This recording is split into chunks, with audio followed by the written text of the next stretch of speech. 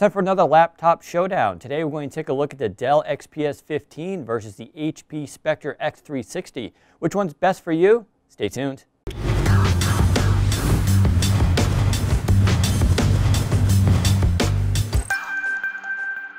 So we've had a lot of requests to do this video and it's really interesting because these are two very different laptops. I understand they're both 15 inch, but they're very different in terms of design and functionality. The XPS 15 is hands down one of the most powerful laptops on the market today that's not a strict gaming machine. The X360, on the other hand, is much more flexible. It's a two-in-one, it's a tablet, it has a pen.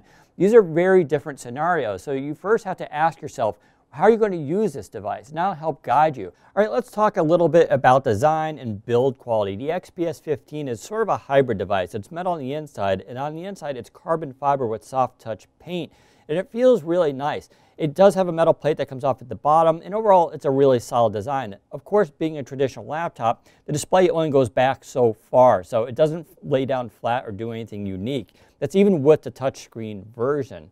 When it comes to the HP Spectre, on the other hand, this is a solid metal device, unibody design.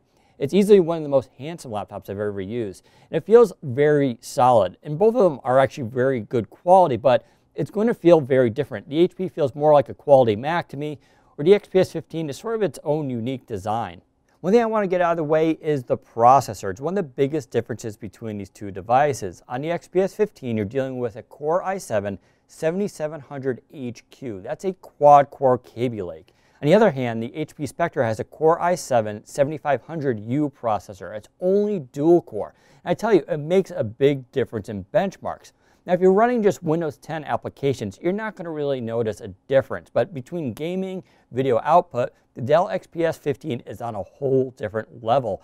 All right, now related to those CPU differences is, of course, the GPU. The Dell XPS 15 features an NVIDIA GTX 1050 with 4 gigabytes of video memory. The HP, on the other hand, has a GT 940MX GPU with 2 gigabytes of video memory. This is night and day difference between these two things. The 1050 is going to be a very powerful GPU. It's good for video output. It's good for light video gaming. The 940MX, on the other hand, is more of a boost for those 4K graphics on the HP. It's nice to have, but you're not going to get a lot of performance out of it. And in fact, the 1050 will absolutely trounce it when it comes to benchmarks. Now, it's important to remember, neither one of these are gaming machines, but if you are going to do some light gaming, you're going to want that GTX 1050 on the XPS 15. It makes a big difference. Now when it comes to displays, both of these devices offer 4K glossy touchscreen options. However, Dell offers a full HD matte non-touch one as well, which is what I prefer. It's just easier on the eyes and it gets better battery life. On the other hand, HP does have a non-PenTile display and it looks really, really good. It's more natural, it's true 4K. Now, the other advantage here with HP is, of course, you can use the pen with it. On Dell, even with the touchscreen, there is no pen support. So you really need to ask yourself if you're going to use a pen on the device. If you are, well, the HP is really your only option here. Dell, on the other hand, well, it probably has the best 4K display on the market. If that's your thing, you're near into video editing, it's probably going to be your best choice. What about when it comes to bezels? Of course, Dell uses the Infinity Edge, which just looks amazing. On the sides and top, it basically has no bezel whatsoever. The downside of that, of course, is the web camera needs to go at the bottom.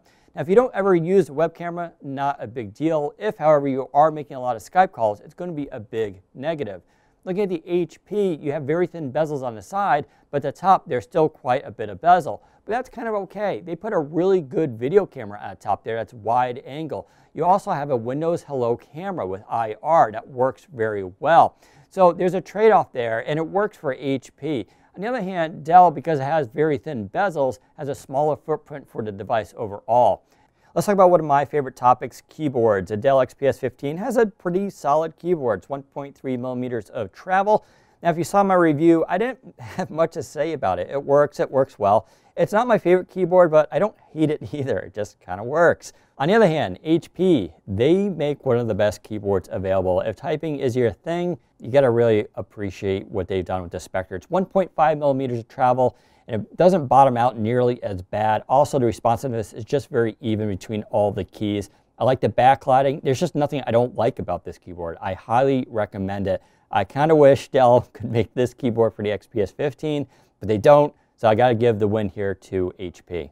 Let's talk about trackpads. Dell uses, of course, a precision touchpad with Microsoft's drivers, and it works very well. It's probably one of the best trackpads out there besides Surface Book. HP, on the other hand, has a very wide trackpad, and it looks cool, and it, the hardware is one of the best out there, but they do not use precision. They use Synaptics instead.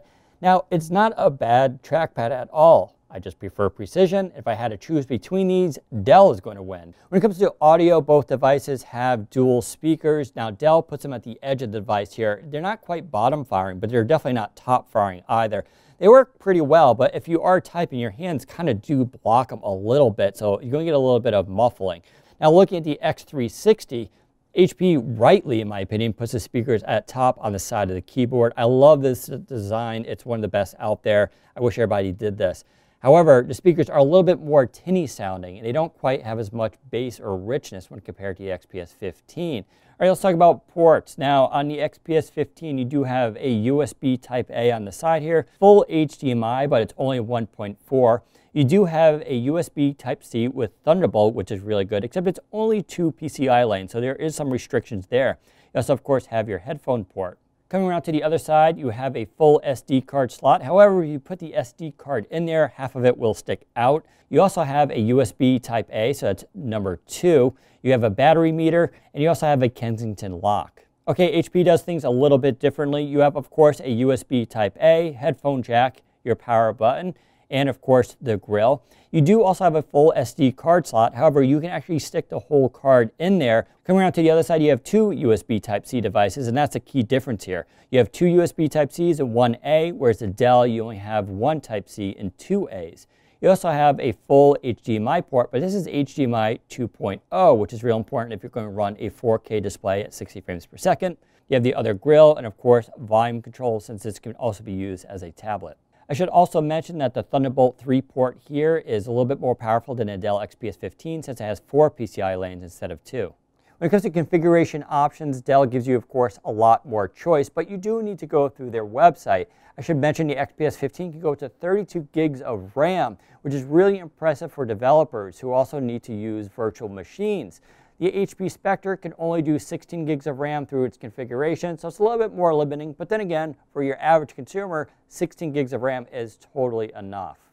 When it comes to storage, the XPS 15 allows you to get up to 1 terabyte SSD, whereas HP only allows you up to 500 gigabytes. It's sort of a big difference, but then again, not everybody can afford or needs 1 terabyte SSD, so keep that in mind. So what about Windows Hello and Bio Authentication? Well, luckily both of these devices support it, but in different ways. HP uses an IR camera for facial recognition, where Dell has an optional fingerprint reader for an extra $25. Both of them are very good. The facial recognition, though, will fail sometimes in different lighting, so you'll need to tune it up occasionally.